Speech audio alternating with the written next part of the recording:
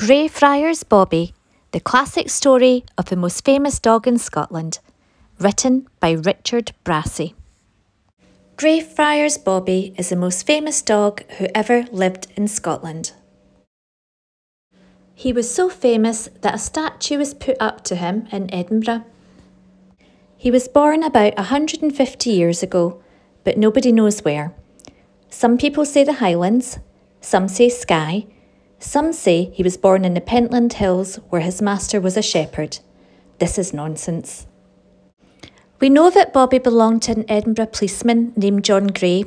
He was a Skye Terrier and his job was to bite the ankles of escaping criminals. Bobby was good at that. But one bitterly cold winter, John Gray fell ill with a terrible fever. Bobby snuggled close to him to try and keep him warm. He stayed beside his master even when John Gray died, he followed the funeral procession to Greyfriars churchyard. Bobby stayed on after the last mourner went home. He watched as grave was filled in. He stood in the bare earth and howled. When night came, he crept under a gravestone to keep guard.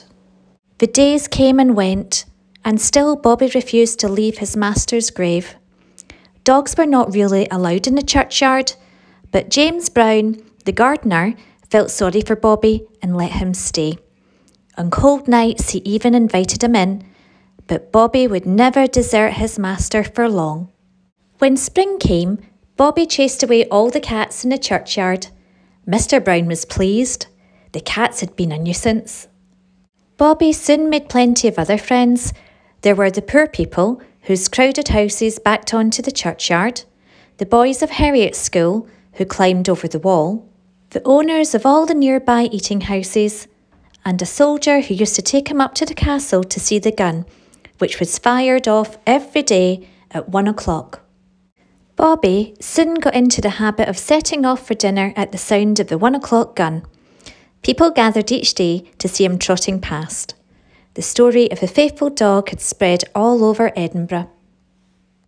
One day, a new owner arrived at Bobby's favourite restaurant, Mr. Traill was not from Edinburgh and had never heard of Bobby, but he realised that many people paid to eat there just to see him. I've known him since he was a puppy. He gave Bobby lots of extra tasty food to make sure he came every day. He even made up stories about Bobby for anyone who asked.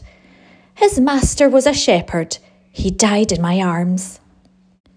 But Mr. Traill was not so keen when he was ordered to appear in court to explain why he hadn't paid Bobby's dog licence. He's no my dog, Your Honour. He still belongs to his dead master. Are you suggesting we dig up his master and ask him for the money? The most important person in Edinburgh was the Lord Provost. When he heard the story, he was touched by Bobby's faithfulness he announced that he would pay Bobby's licence for life. He gave him a special collar with a brass plate. Greyfriars Bobby from the Lord Provost, 1867, licensed. The story was reported in all the newspapers. Greyfriars was soon crowded with sightseers, painters, and photographers. It's even rumoured that Bobby had a visit from Queen Victoria and her servant, John Brown.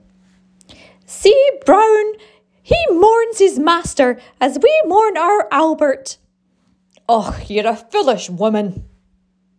A lot of nonsense has been talked about Bobby over the years. Some people said he never existed just because they couldn't find him when they visited the churchyard. There's no dog here.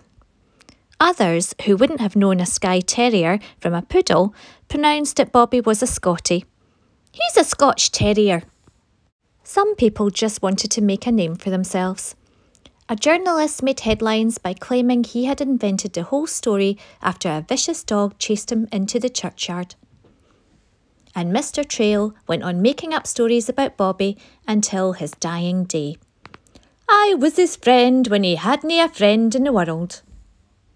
It's not surprising that when an American lady decided to write a book about Bobby, she got many things wrong. It didn't help either that she had never been to Scotland and made most of it up. But the book was very popular and years later, Walt Disney made a film based on it. Whatever people may say about Bobby, we know enough to be sure that he did exist. At Huntly House Museum in Edinburgh, you'll find his collar, his bow, and a real photo of him, looking rather old and sad. You'll even find a photo of Mr. Traill and his family with Bobby. Bobby spent 14 years faithfully guarding his master's grave. When he died, he was buried in a flower pot in front of Greyfriars Church. A hundred years later, a stone was put up to mark the spot. And even today, there are people who say they see him chasing cats in the churchyard.